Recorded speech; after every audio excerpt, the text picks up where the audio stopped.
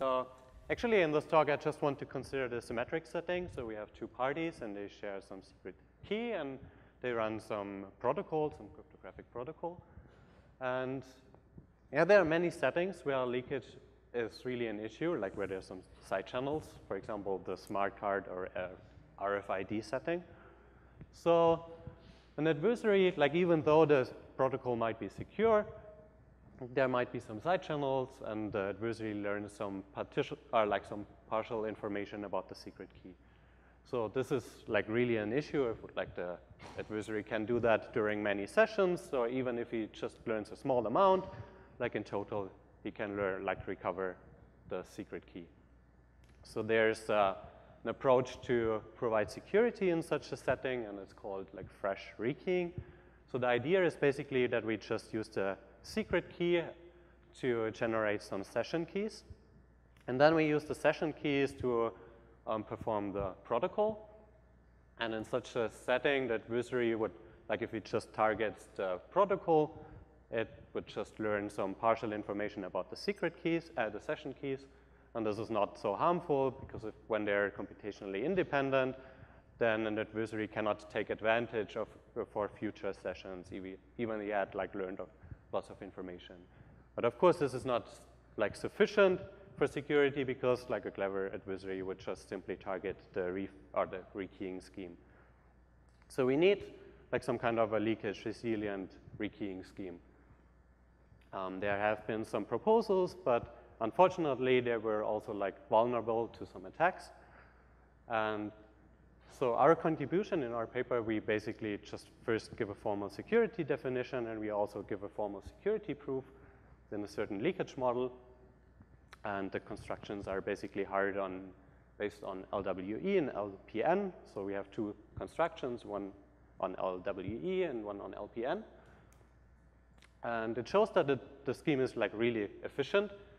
So we have like a certain leakage model, and this, in this leakage model, like you usually share the secret key, and it's like also correspond to a countermeasure which is called masking. And you can basically determine the hardness for an adversary to attack such a scheme by the amount of shares.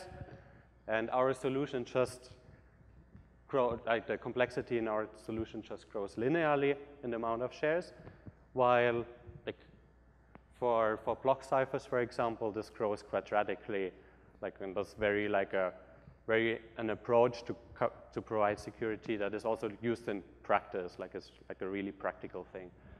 Um, therefore, we have also provided a concrete implementation for the scheme, and it shows that even for low orders or like for low amount of shares, um, we match the efficiency of AES, like of masked AES.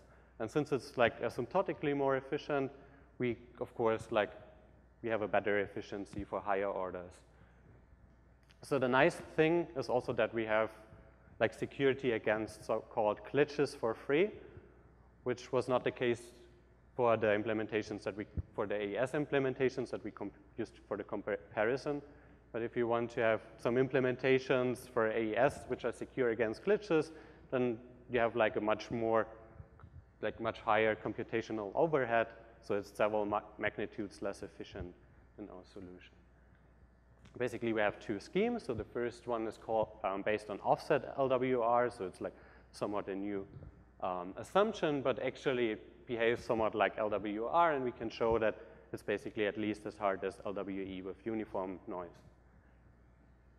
So also it uses like very simple, a very simple rounding function and very efficient um, operations and also simple operations. So it will be very, it's very easy to implement. It's also very efficient.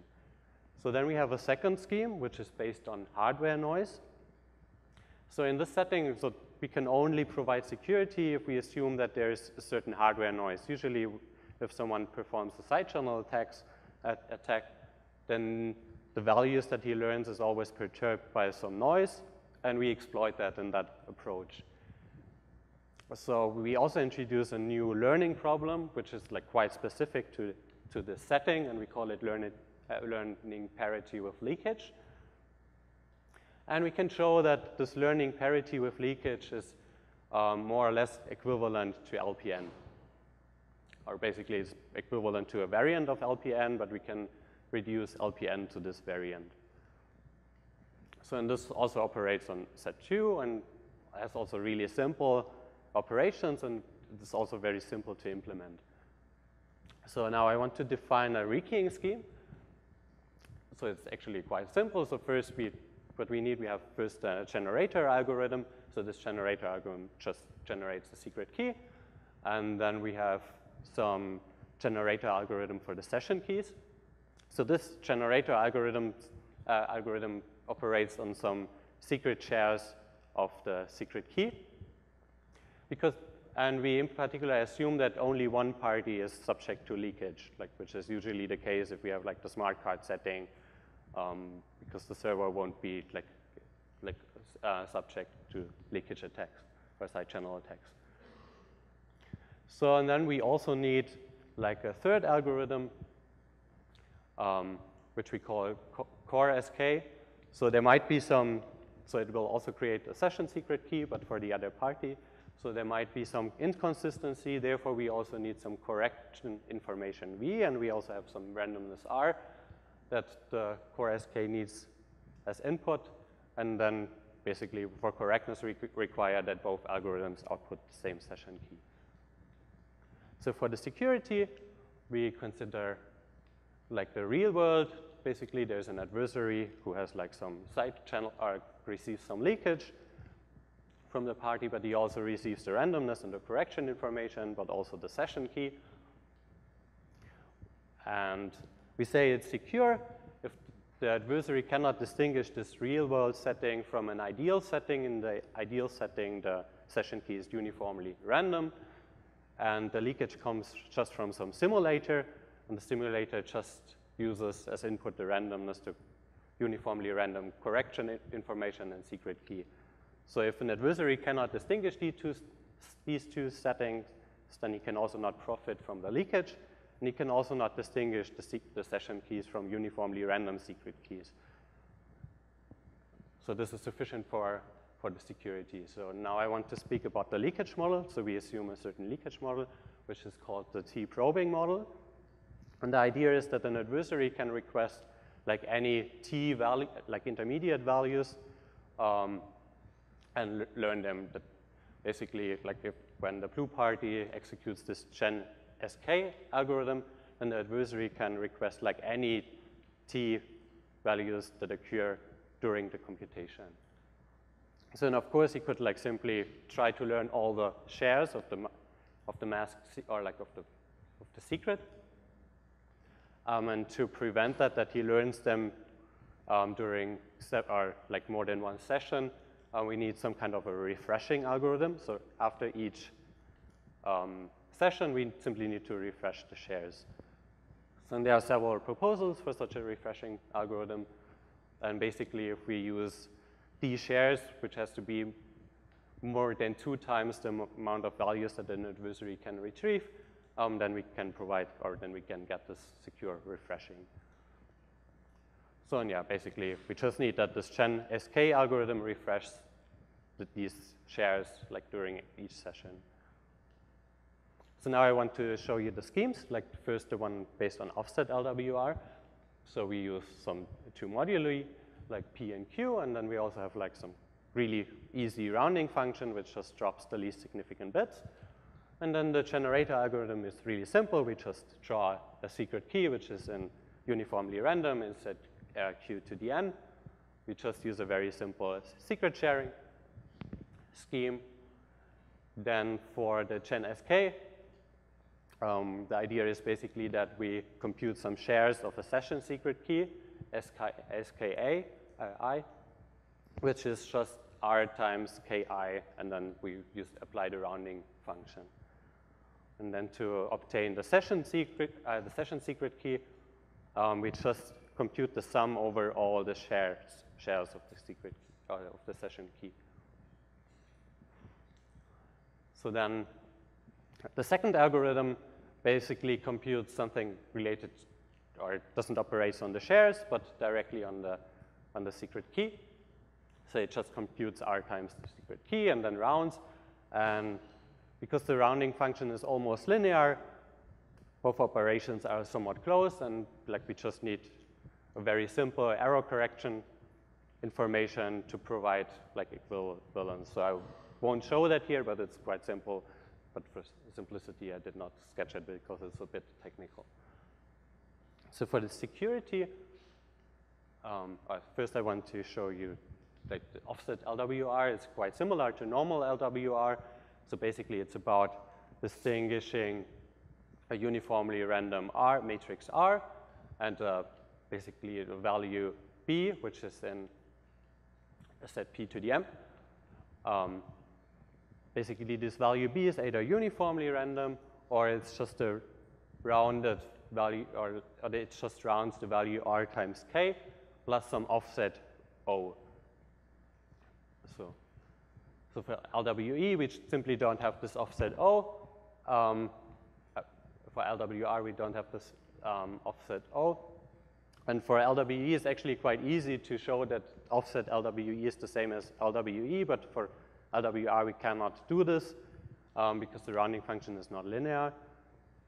But actually, we show also that many of the reductions that we use to um, prove the hardness of LWR also work for this offset LWR. So it's no problem, so we don't really decrease the security, even though we cannot relate directly to LWR. You have to use this additional assumption. So yeah, and for suitable parameters, yeah, it's at least as hard as LWE with uniform noise.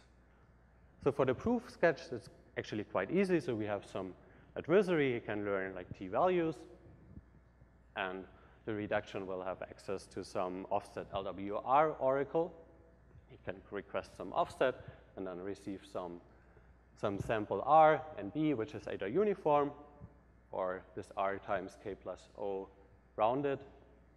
And now this reduction simply has to somehow simulate this GenSK algorithm. So since the adversary can only learn T values and there will be much more shares, there's at least one share that the adversary cannot learn. And so we call this share the uh, KJ. So now the reduction can basically simply sample all the shares, but only the KJ share. It won't, or like the reduction won't know the uh, J shared. Mm.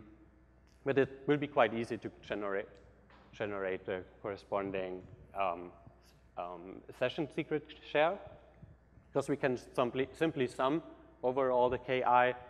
So we compute this value k prime. So in this value k prime will simply correspond to minus k plus kj.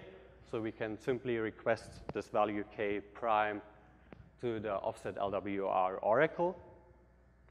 So and what we will receive is either a truly uniform B or we will receive the corresponding um, session secret share. So we can use this bit B now in the simulation of the algorithm GenSK, and we can simply sum over all these session secret shares. And now, so we can simply output this session um, key. And now in the case when B is uniform, the session key will be uniform.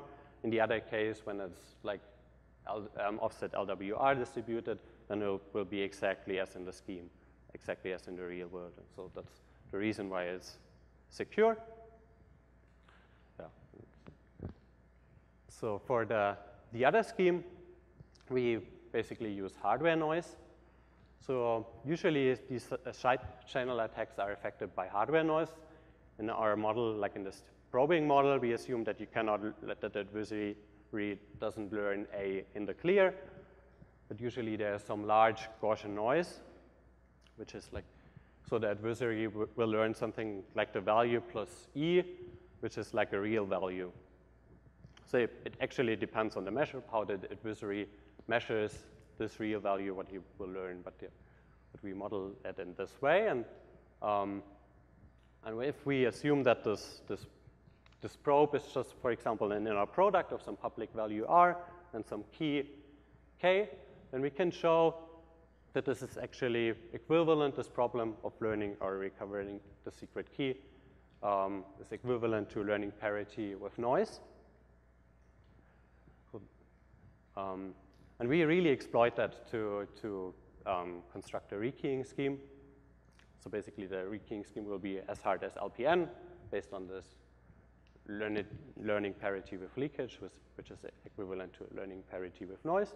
The nice thing about it is that we don't need to generate the noise on the chip because usually like there were some proposals um, which wanted to provide some side channel um, or like leakage resilient schemes based on LPN, but there was always the issue if you generate the noise on your chip, then the adversary might learn this noise. But in our scheme, there's no noise generated on the chip itself. We just need that the side channels are affected by some noise to, during the side, side channel measurements. Um, yeah, so, but for the security, there's like a drawback because it seems that we need the ideal cipher model or at least a, or like a random oracle model because on the chip itself, we don't have this noise. So the session keys won't be uniform or won't be um, indistinguishable from uniform itself, only if the adversary takes the side channel attack. So, so like as an input for the protocol, we first need to hash it, for example, with a random oracle. So yeah, that was also my last slide. So, so basically, um, we have now like a formal security definition for uh, these rekeying schemes. We also have like a formal proof of these schemes.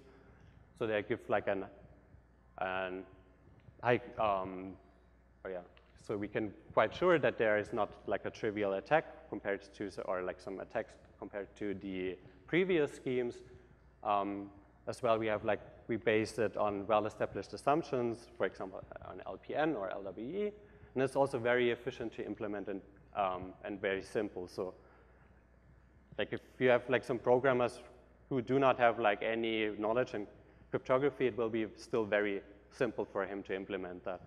While like similar, like comparable block cipher based solutions will be quite hard to implement because this, this masking is highly non-trivial because there you have like nonlinear operations.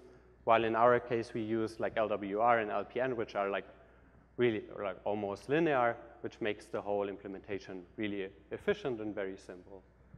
So yeah, thanks for your attention, and I also have the reference for ePrint, and I'm happy to discuss.